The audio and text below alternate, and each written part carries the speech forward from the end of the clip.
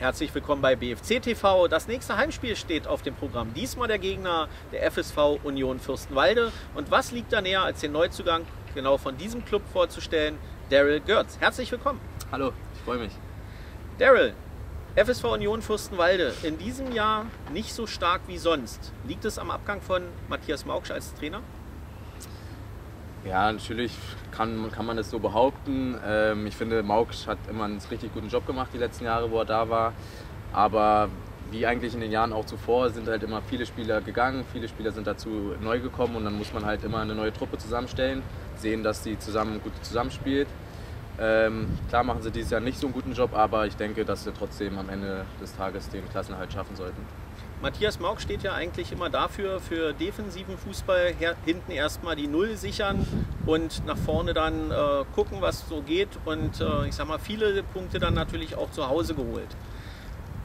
Was ist das, der Unterschied jetzt zu dem System, den, das du hier jetzt erlebst?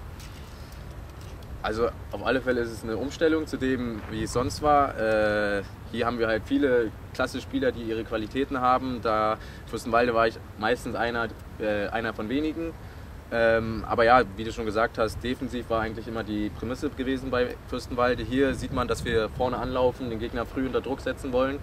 Ähm, das beinhaltet dann manchmal, wenn es nicht klappt, halt weitere Wege nach hinten. Aber ich denke, wie man auch in der Saison sieht, dass es eigentlich auch ganz gut klappt. Wie gesagt, ich brauche ein bisschen Zeit, um mich daran zu gewöhnen, aber letztendlich ja, spricht der Erfolg ja für uns. Ja, gegen Auerbach hast du jetzt zwei Tore geschossen. Ist das jetzt tatsächlich der Punkt, wo du das neue Spielsystem vom Trainer Christian Ben-Benneck verinnerlicht hast? Nein, das jetzt nicht unbedingt. Klar freue ich mich, dass ich da zwei Tore gemacht habe. Aber ich denke, dass man von Spiel zu Spiel gesehen hat, dass ich das Spielsystem immer mehr verstehe, mehr probiere umzusetzen. Ähm, aber ja, wie gesagt, also die Tore waren jetzt nicht, ist jetzt nicht der Punkt für mich gewesen, wo ich sage, ja okay, jetzt wird es jedes Spiel super laufen, alles ist prima, aber ja, war natürlich toll. Ja, du bist inoffizieller Weltmeister im Fußballtennis gewesen. Wie ist es dazu gekommen?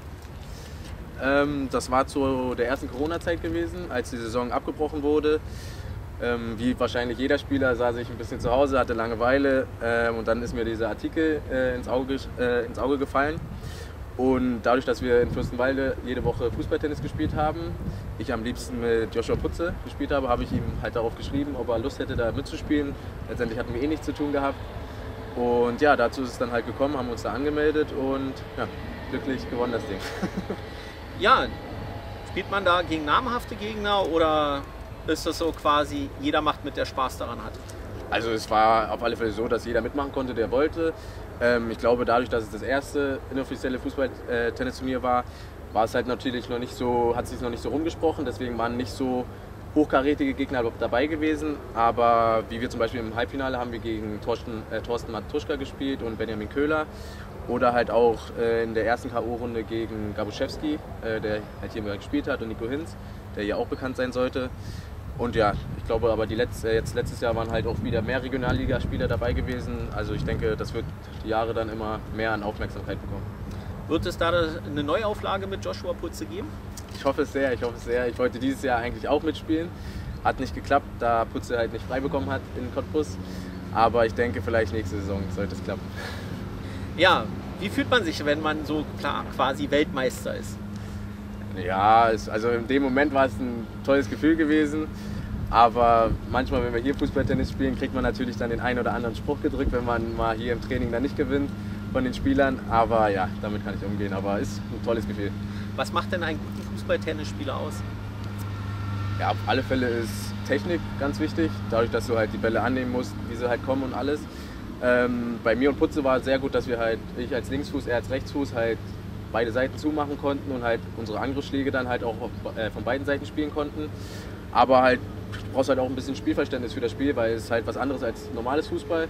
Und deswegen, wo du dich positionierst, wenn der Gegner den Ball hat und so weiter. Und ja, das, ein bisschen Kopf muss schon dabei sein.